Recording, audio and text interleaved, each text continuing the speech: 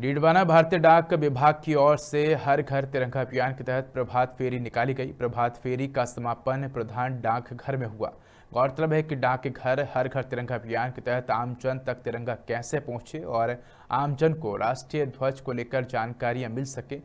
PSD के द्वारा सभी डाकघर मंडलों को ध्वज की आरंभिक आपूर्ति भी की जा रही है। साथ ही प्रभात फेरियों में गणमान्य राजनीतिज्ञों, जनप्रतिनिधियों, व्यक्तियों, संस्थानों से संपर्क करके उन्हें डाकघरों के माध्यम से राष्ट्रीय ध्वज की बिक्री और वितरण की जानकारियाँ दी जा रही हैं।